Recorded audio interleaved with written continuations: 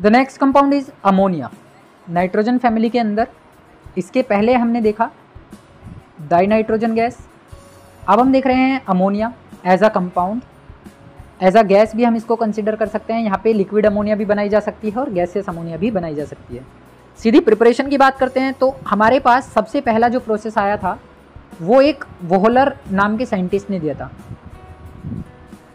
Volar नाम का एक साइंटिस्ट लेबोरेटरी के अंदर यूरिया का एक एक्सपेरिमेंट कर रहा था। यूरिया को उन्होंने पानी में डाला। पानी के साथ यूरिया ने रिएक्शन किया और बना दिया अमोनियम कार्बोनेट एक कंपाउंड हमें मिला, जो कि बेसिकली एक सॉल्ट था। इस सॉल्ट को उन्होंने गर्म किया। जैसे ही उन्होंने इसे हीट किया तो इसके अंदर से अमोनिया गैस रिलीज़ होने लगी। कार्बन डाइऑक्साइड गैस लिबरेट हो गई, पूरी की पूरी रिलीज़ हो गई।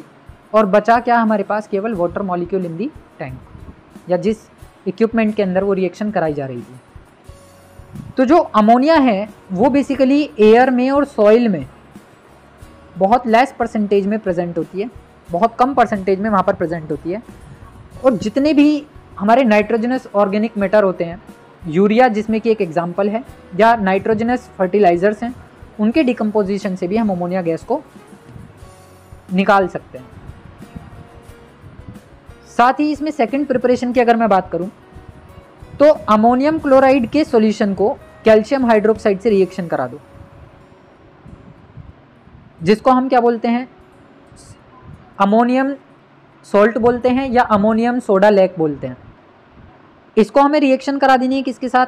कास्टिक कैल्शियम हाइड्रोक्साइड जिसको हम नाम देते हैं लाइम का। जैसे ही ये दोनों आपस, ये दोनों मिक्सचर आपस में रिएक्शन करेंगे तुरंत अमोनियम आयन अपने अंदर से अमोनिया गैस को रिलीज़ कर देगा। जैसे ही अमोनिया गैस रिलीज़ होगी, कैल्शियम क्लोराइड सेटल डाउन हो जाएगा। यानी कि एक हमें मिलेगा insoluble precipitate of calcium chloride in the water. Ammonium chloride reaction कर रहा है कैल्शियम हाइड्रोक्साइड के साथ, अमोनिया गैस का लिबरेशन है, insoluble salt of calcium chloride की प्रिपरेशन हो जाएगी। दूसरा, अगर अमोनियम सोल्ट को हम डाल देते हैं कास्टिक सोडा के साथ। अमोनियम सोल्ट मतलब अमोनियम सल्फेट यहाँ पर हम कंसिडर कर रहे हैं। तो बेसिकली रिएक्शन सिंपल है। एन सल्फेट को साथ में ले जाएगा। एन की फॉर्मेशन करता हुआ। अमोनियम आयन गर्म होते के साथ ही अमोनिया को लिबरेट कर देगा। बचा यहाँ से हाइड्रोजन यहाँ से बचा ऑक्सीजन और हाइड्रोजन तो ये कंबाइन होकर के बना देंगे वाटर मॉलिक्यूल दोनों रिएक्शन हीटिंग पर चलेंगी। दोनों रिएक्शन एंडोथर्मिक होंगी। पहले एंडोथर्मिक प्रोसेस चलेगा और जैसे जैसे प्रोडक्ट की तरफ़ हम जाएँगे तो रिएक्शन एक्जोथर्मिक होनी शुरू हो जाएगी। वो बीकर जिस बीकर में रिएक्शन हो रही होगी, इन रिएक्शन मिक्सचर्स के बीच में, वो बीकर गर्म होना शुरू हो जाएगा। तो इस तरीके से हम अमोनिया गैस की प्रिपरेशन कर सकते हैं। तीसरा जो प्रोसेस हमारे पास होता है, वो है हेबर प्रोसेस बहुत कॉमन सा प्रोसेस है। कि नाइट्रोजन और हाइड्रोजन का वन इज़ टू थ्री का रेशो हमने लेना है। और जैसे ये कंबाइन होंगे, ये हमें बना करके देंगे अमोनिया गैस यहाँ पर जो एंथैल्पी ऑफ़ फॉर्मेशन है, वो होती है minus forty six point one kilo joule per mole अभी जो एंथैल्पी ऑफ़ फॉर्मेशन है बेसिकली ये माइनस में रिप्रेजेंट की हुई है। इसका मतलब ये हुआ कि ये रिएक्शन में प्रोडक्ट के साथ बाहर निकलती है। यानी कि preparation of ammonia is the exothermic process जब आप इसे रिएक्शन के साथ लिखेंगे तो ये कुछ ऐसा लिखा जाएगा। Two N H three plus forty six point one kilo joule per mole जब हम रिएक्शन के बाहर लिखते हैं तो वो पॉजिटिव की वैल्यू माइनस की हो जाती है।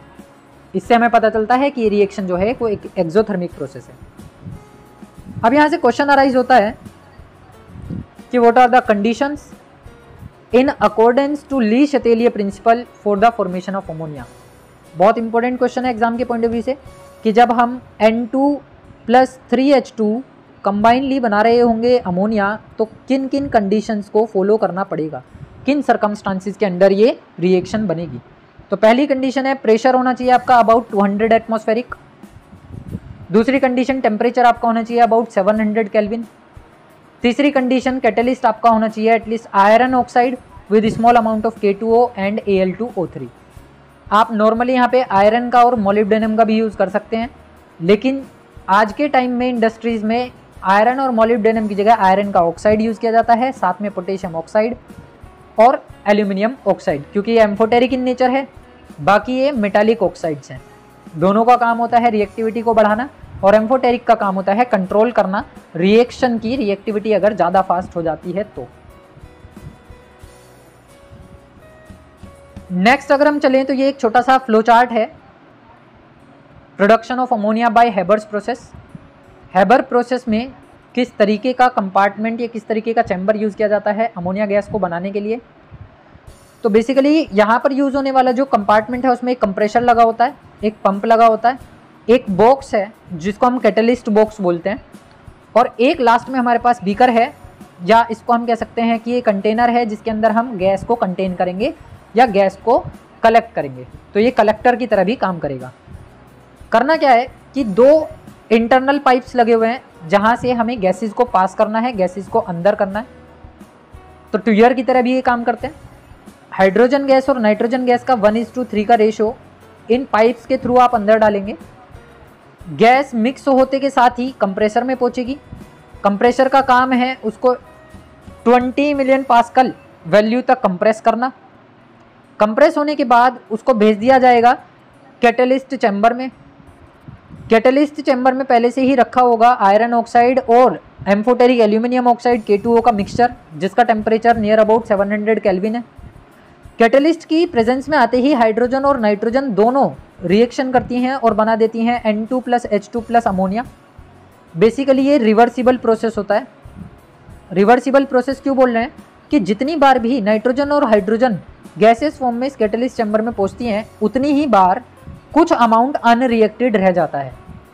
और कुछ अमाउंट रिएक्शन करके अमोनिया बना लेता है। तो जो चीज़ अमोनिया बनती जाएगी, जितना अमाउंट अमोनिया बनता जाएगा, उसको हम कलेक्ट करते रहेंगे कलेक्टर के अंदर। और जो गैसियस फ़ेज़ में नाइट्रोजन और हाइड्रोजन बची रह जाएँगी, जो अनरिएक्टेड पार्ट होगा, वो वापस से कलेक्टर के थ्रू पंप से होते हुए कैटलिस्ट चैम्बर में again and again reversible cycle के साथ जाती चली जाएगी। इस तरीके से हैबर्स प्रोसेस की हेल्प से हम आसानी से अमोनिया गैस की प्रिपरेशन कर सकते हैं। प्रॉपर्टीज़ की अगर हम बात कर लें अमोनिया की प्रॉपर्टीज़ को लेकर के तो इसमें सबसे पहली प्रॉपर्टी हमारे पास आती है कि अमोनिया जो है वो एक कलरलेस गैस है और इसके पास एक पंजेंट ऑर्डर होता है। पंजेंट स्मेल होती है। बहुत तीखी स्मेल पाई जाती है अमोनिया की। अगर हम इसके फ्रीजिंग पॉइंट की या बॉइलिंग पॉइंट की बात करते हैं तो ये 198.4 डिग्री कैलविन टेम्परेचर पर फ्रीज होती है और 239.7 केल्विन टेम्परेचर पर ये बॉईल होती है। तो इसका फ्रीजिंग टेम्परेचर इसका बॉइलिंग टेम्परेचर याद रखना है एग्जामिनेशन में पूछे जाते हैं। सॉलिड स्टेट में और लिक्विड स्टेट दोनों में ये पाई जाएगी। तो सॉलिड एंड लिक्विड दोनों ही स्टेट में नाइट्रोजन हमें देखने के लिए मिलती है। और नाइट्रोजन जब अमोनिया की फॉर्म में हमें मिल रही हो NH3 तो यहाँ पर नाइट्रोजन और हाइड्रोजन कंसिस्टेड होते हैं due to the hydrogen bond in case of water and that accounts for its higher melting and boiling point that expected on the basis of its molecular mass. ये hydrogen bonding इसके boiling point और melting point को क्या बनाती है? Higher बनाती है, ज़्यादा बनाती है। इसका मोलिकुलर मास के अलावा दूसरा फैक्टर है इसके बॉइलिंग पॉइंट और मेल्टिंग पॉइंट को इंक्रीज करने का that is hydrogen bonding between the nitrogen and hydrogen atom अगर हम बात करें स्ट्रक्चर को लेकर के ये है स्ट्रक्चर ऑफ़ अमोनिया तो बाल को करी नहीं करी वीडियो लाइक करी नहीं अभी तक? कर दो। पता है ना कैसे करनी है? अंगूठे पे बटन दबा दो। बटन को लाल कर देना याद से। हाँ कर दो कर दो। अमोनिया के अंदर जो नाइट्रोजन है वो बेसिकली सेंटर पर बैठा होगा। नाइट्रोजन के साथ तीन हाइड्रोजन कनेक्टेड होंगे और एक लोन पेयर एग्जिस्ट करेगा नाइट्रोजन का, जो रिएक्शन में पार्टिसिपेशन नहीं देता।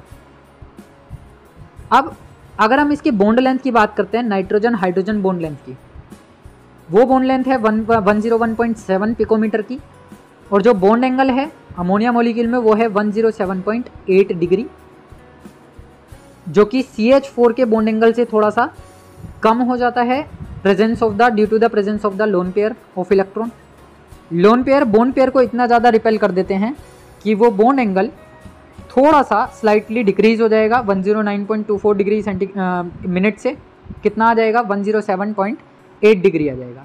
अब यहाँ पे अगर हम हाइब्रिडाइजेशन की बात करते हैं तो अगर मैं हाइब्रिडाइजेशन चेक करता हूँ तो हाइब्रिडाइजेशन हमें मिलता है एस यानी कि जो नाइट्रोजन है हाइड्रोजन के साथ कंसिस्ट होने के लिए वो एस हाइब्रिडाइज्ड होगा। इसका एक एस ऑर्बिटल और पी के तीन ऑर्बिटल पार्टिसिपेशन देते हैं। रिएक्शन में अमोनिया का मॉलिक्यूल बनने के लिए या अमोनिया की स्ट्रक्चर बनने के लिए। तो जो शेप है बेसिकली वो कैसी है? वो पिरामिडिकल है पिरामिडल है। देखो ये पिरामिड की तरह एक स्ट्रक्चर बनाई, बन रही है। तो इसकी जो स्ट्रक्चर होगी वो पिरामिडल होगी और जो ज्योमेट्री होगी वो टेट्राहेड्रल होगी। ये बात हमें याद रखनी है। स्ट्रक्चर की बात करेंगे तो वो पिरामिडल होगी और अगर ज्योमेट्री की बात करेंगे तो वो कैसी हो जाएगी? टेट्राहेड्रल। टेट्राहेड्रल। इस तरीके से इसके क्वेश्चन एग्ज़ाम में पूछे जाते हैं जो हमें याद रखने हैं। प्रॉपर्टी में बात करूँ अगर तो अमोनिया जो है अमोनिया गैस वो हल्की सी या मतलब गैसियस फॉर्म में बहुत ज़्यादा सोल्यूबल होती है पानी के अंदर। अमोनिया को अगर गैसियस फॉर्म में पानी के अंदर डाला जाए तो वो अपना एक एक्वस सोल्यूशन बनाती है, जो कि कैसा होता है? वीक बेस का सोल्यूशन होता है। वीकली बेस सोल्यूशन होता है। अमोनिया पानी में जाते के साथ ही अमोनियम आयन को और हाइड्रोक्साइड आयन को जनरेट करती है। अब क्योंकि अमोनियम आयन जो है, वो बहुत वीक है और हाइड्रोक्साइड आयन थोड़ा सा as compared to ammonium strong है, जिसकी वजह से इसका जो सॉल्यूशन बनता है, वो भी बेसिक होता है, लेकिन वीक बेस उसको कंसिडर किया जाता है। तो दोनों ही आयन की कंसिस्टेंसी अच्छी खासी पाई जाती है जब अमोनिया को पानी के अंदर डिजोल्व करते हैं। जहाँ से एक क्वेश्चन अराइज होता है कि what happens when ammonia ammonium ammonia hydroxide is made to react with zinc sulphate and ferric chloride respectively एक बार इसको जिंक सल्फेट से रिएक्शन करानी है, एक बार फेरिक क्लोराइड से रिएक्शन करानी है। तो जिंक सल्फाइड से जब अमोनियम हाइड्रोक्साइड रिएक्शन करता है तो अमोनियम अपना एक सल्फेट सोल्ट बना लेता है और जिंक आसानी से हाइड्रोक्साइड बना लेता है। तो जिंक हाइड्रोक्साइड का वाइट पीपीटी देखने के लिए मिलेगा सॉलिड फॉर्म में। और अमोनियम सल्फेट एक्वस फॉर्म में ही उस बीकर में रहेगा, पड़ा रहेगा, जिस बीकर के अंदर वो रिएक्शन कराई जा रही है। सिमिलरली अगर हम एफ़ की रिएक्शन कराते हैं अमोनियम हाइड्रोक्साइड के साथ तो ये जो आयरन है, वो ऑक्सीडाइज हो जाता है इसके ऑक्सीजन से।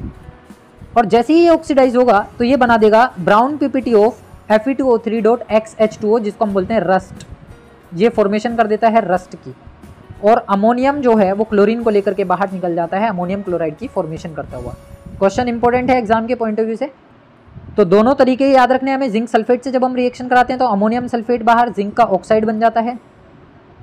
अमोनियम क्लोराइड पूरा का पूरा सेपरेट हो जाता है और आयरन ऑक्सीजन से ऑक्सीडाइज होकर के क्या बना देगा? वाटर मॉलिक्यूल को कंटेन करते हुए रस्ट का फॉर्मूला या रस्टिंग के प्रोसेस को ये करा देता है स्टार्ट नेक्स्ट क्वेश्चन यहाँ से अराइज होता है कि how are the metals metal ions like copper two positive silver positive detected using ammonia ये केमिकल टेस्ट की तरह यूज़ किया जाता है क्वेश्चन को। तो बेसिकली कॉपर आयन और सिल्वर आयन की हम बात कर रहे हैं। क्लासेस में पहले भी कई बार इस क्वेश्चन को मैंने रिपीट किया है। केमिकल टेस्ट है कॉपर आयन का और सिल्वर आयन का। तो कॉपर आयन अगर अमोनिया से रिएक्शन करते हैं, अगर एक्वस कॉपर आयन यानी कि आप कॉपर सल्फेट ले लो तो एक्वस सॉल्यूशन बन गया। एक्वस सॉल्यूशन में copper two positive ion aqueous state में पड़े होंगे। उसके अंदर अमोनिया लिक्विड अमोनिया डाल दो। एक्वस का मतलब है लिक्विड अमोनिया अगर डीप ब्लू कलर आता है तो वो कन्फर्मेशन देगा कॉपर टू पॉजिटिव आयन की। और ये डीप ब्लू कलर मिलता है हमें कॉपर के और अमीन, अमोनिया जो बनी है यहाँ पे, अमोनिया एज अ लाइगेंड जो काम कर रही है, इन दोनों के कॉम्प्लेक्स फॉर्मेशन से क्या बनती है यहाँ पे? कॉम्प्लेक्स बनती हैं। तो अगर डीप ब्लू कलर हमें मिलेगा तो वो कंफर्मेशन देगा हमें कॉपर टू पॉजिटिव आयन का। सिल्वर के लिए हम टेस्ट करते हैं कि जो सिल्वर आयन है एक्वस स्टेट में, वो हो सकता है ए जी एस ओ फोर से आया हो ए जी टू फोर से आया हो किसी भी कंपाउंड से वो आ सकता है तो एक्वस स्टेट में सिल्वर हमने लिया। उसके ऊपर सिल्वर आयन पास आउट किए। सबसे पहले वो वाइट पीपीटी बनाएगा एजीसीएल की। एजीसीएल के ऊपर आप अमोनिया गैस पास करोगे। अमोनिया गैस पास करने के बाद अगर वो पूरा का पूरा कंपाउंड कलरलेस ही रहता है, जैसा हमने लिया था, वो एज इट इज़ बना हुआ है, लेकिन वहाँ पर एक कॉम्प्लेक्स फॉर्मेशन हो जाती है। तो वो कन्फर्मेशन देगा सिल्वर आयन का। दोनों रिएक्शंस को सिल्वर टेस्ट और कॉपर आयन टेस्ट के लिए यूज़ किया जाता है। दोनों रिएक्शंस इंपॉर्टेंट हैं। नेक्स्ट क्वेश्चन यहाँ से आता है कि from the reaction what typical characteristic of ammonia can be gathered कि रिएक्शन से आप अमोनिया की कौन सी करेक्टरिस्टिक को कैलकुलेट कर सकते हैं या फिर कलेक्ट कर सकते हैं? तो बेसिकली यहाँ से एक प्रॉपर्टी हमें मिलती है presence of lone pair of nitrogen तो presence of lone pair of sorry electron तो presence of lone pair of electron on nitrogen the ammonia molecule makes it Lewis base ये क्या बना देती है? अभी हमने देखा इसका सोल्यूशन भी कैसा होता है? वीक बेसिक होता है। जब अमोनिया को पानी में डालते हैं, उसका सोल्यूशन भी वीक बेस मिलता है। तो ये इलेक्ट्रॉन पेयर को डोनेट कर देगा और मेटल आयन के साथ बहुत आसानी से अपना एक कॉम्प्लेक्स बना देगा। जिसकी वजह से हमें डिटेक्शन होता है मेटल का। अगर नाइट्रोजन एक्वस स्टेट में अपने लोन पेयर को रिलीज़ ना करे तो ये कॉम्प्लेक्स की फॉर्मेशन पॉसिबल नहीं हो पाएगी। तो अगर कहीं पर नाइट्रोजन कंसिस्टेड है और कोई कॉम्प्लेक्स बनता है तो वहाँ रिस्पॉन्सिबल होगा नाइट्रोजन का लोन पेयर जो कि रिएक्शन में पार्टिसिपेशन देगा मेटल के साथ और उसका एक कॉम्प्लेक्स फॉर्मेशन कर देगा, साथ के साथ हमें मेटल की डिटेक्शन करके देगा। नेक्स्ट और लास्ट इसमें आ जाता है हमारे पास यूजेज ऑफ़ अमोनिया तो अगर मैं अमोनिया के यूज़ की बात कर रहा हूँ तो सबसे पहली जो चीज़ है, हम बहुत सारे नाइट्रोजनस फर्टिलाइजर्स बनाते हैं विद यूजिंग अमोनिया या ammonium nitrate urea ammonium phosphate ammonium sulphate सारे के सारे कौन से हैं? अमोनिया के कंपाउंड हैं. सब किससे बने हुए हैं? अमोनिया से बने हुए हैं. तो अमोनिया का यूज़ किया जाता है इन सारी चीज़ों को बनाने में. नाइट्रिक एसिड की प्रिपरेशन में भी अमोनिया का यूज़ किया जाता है. नाइट्रिक एसिड को हम पढ़ेंगे। नाइट्रिक एसिड की प्रिपरेशन जब हम देखेंगे तो वहाँ पे बताया जाएगा कि अमोनिया का क्या यूज़ है, किस तरीके से हम इसको यूज़ करते हैं। और लास्ट इसमें आ जाता है कि liquid ammonia is also use as a refrigerant जिसको हमने अभी पहले भी पढ़ा कि लिक्विड फॉर्म में ये हमारे रेफ्रिजरेटर्स में और कूलेंट वाले इक्विपमेंट्स के अंदर इसको यूज़ करते हैं। तो बेसिकली ये हो गई हमारे पास अमोनिया, उसकी प्रिपरेशन लेबोरेटरी में कैसे बनाते हैं, अमोनिया से रिलेटेड कुछ इंपॉर्टेंट क्वेश्चन और उसकी केमिकल प्रॉपर्टीज़ अब यहाँ से दो क्वेश्चन और अराइज होते हैं। नंबर एक नंबर वन जो हमारे पास है, वो है why does ammonia acts as a Lewis base ammonia Lewis base की तरह कैसे काम करेगा? और दूसरा why does N O two dimerises ये अकेले कभी भी एग्जिस्ट नहीं करती एन ओ टू ये हमेशा डाइमराइज हो जाती है और अपना एक मॉलिक्यूल बनाती है N2O4 दोनों क्वेश्चन इंपॉर्टेंट हैं। काफ़ी वेटेज है, काफ़ी बार रिपीटेशन हुआ है इनका बोर्ड एग्जामिनेशन में। तो अगर मैं बात करता हूँ अमोनिया की कोई लुइस बेस की तरह काम क्यों कर रहा है तो उसके पीछे का रीज़न है lone pair of electron of nitrogen which is available for donation जैसे ही तुम इसको पानी में डालते हो तो ये अपने लोन पेयर को क्या कर देता है डोनेट कर देता है। जिसकी वजह से इसका जो सोल्यूशन बनता है वो क्या होगा? बेसिक होगा। यानी कि लुइस बेस वो स्पीशीज होती हैं जिनके पास लोन पेयर इलेक्ट्रॉन प्रेजेंट हो और वो एबल हो अपने लोन पेयर ऑफ़ इलेक्ट्रॉन को रिलीज़ कराने में या डोनेट करने में। नेक्स्ट क्वेश्चन ये आ गया कि why does NO two dimerises ये मोनोमराइज फॉर्म में नहीं मिलता डाइमराइज फॉर्म में मिलता है तो इसके पीछे का रीजन है। Odd number of valence shells का पाया जाना या वैलेंस इलेक्ट्रॉन्स का पाया जाना। जिन स्पीशीज के पास ओड इलेक्ट्रॉन्स होंगे, ओड इलेक्ट्रॉन्स मतलब एक, तीन, पाँच, सात ऐसे इलेक्ट्रॉन्स पाए जाएँगे जिन कंपाउंड्स में। वो कभी भी अकेले एग्जिस्ट नहीं कर सकते।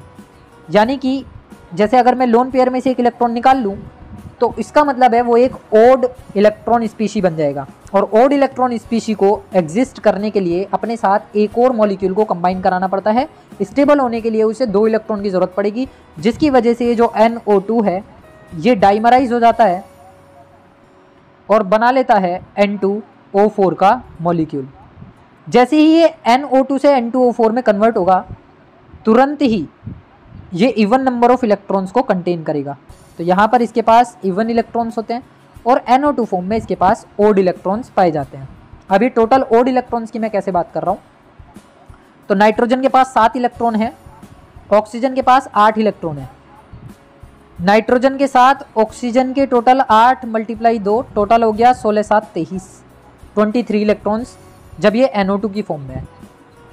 अब क्योंकि ये ओड इलेक्ट्रॉन्स को कंसिस्ट कर रहा है, इसकी वजह से ये स्टेबल नहीं रह पाता।